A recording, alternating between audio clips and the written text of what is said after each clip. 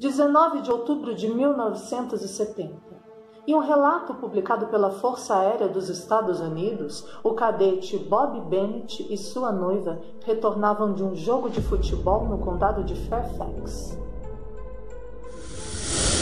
O casal teria estacionado e iniciado uma discussão.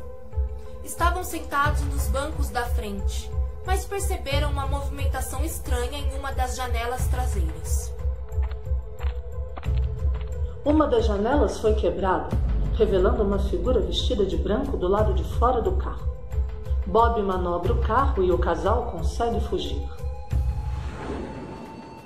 Na delegacia, Bob descreveu o sujeito como um homem alto, usando roupas brancas e orelhas de coelho.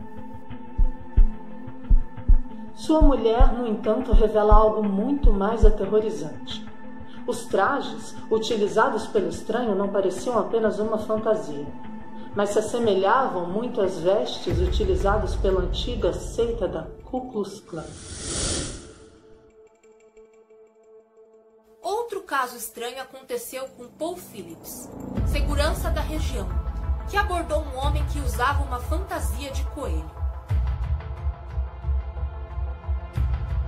O homem utilizava um machado para depredar a construção, enquanto repetia pausadamente que as pessoas que invadiam a propriedade deviam ser caçadas e mortas.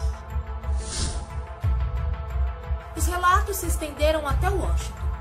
Acredita-se que, até hoje, exista um homem escondendo toda a sua maldade por trás de uma bizarra fantasia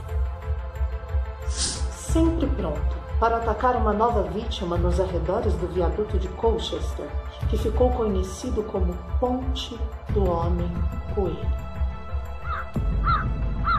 Hoje em dia, no feriado de Páscoa, as pessoas desafiam umas às outras a ir até o viaduto procurar pelo suposto assassino fantasiado. E você, toparia esse desafio?